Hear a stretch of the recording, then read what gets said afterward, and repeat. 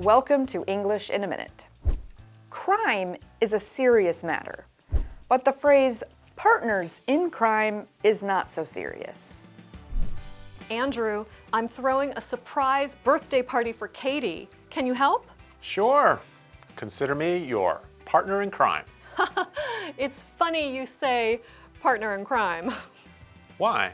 Well, it's going to be a murder mystery party.